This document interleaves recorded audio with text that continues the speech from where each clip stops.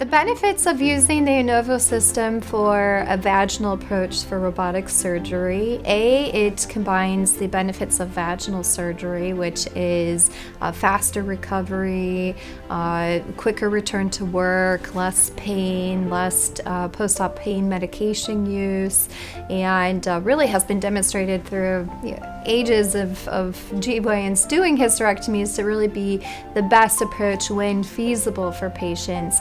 But using the Anovo robotic system also combines the advances that robotic surgery brings us with advanced visualization, with the um, laparoscopic camera, and the advanced energy sources with the robotic arms. And so it really combines the best approaches of, of both worlds, of our technology as well as the most minimally invasive surgery for women.